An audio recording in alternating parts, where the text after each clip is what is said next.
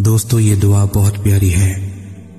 इसे सुकून से सुने और ज़ुबान से आमीन कहें और इसे दूसरों तक पहुँचाए। हो सकता है कि दूसरे लोगों की आमीन से अपनी दुआ कबूल हो जाए। आमीन। अल्लाह रब्बुल इज़्ज़त, ए सारी कायनात के शहनशाह, ए सारी मखलूक के पालने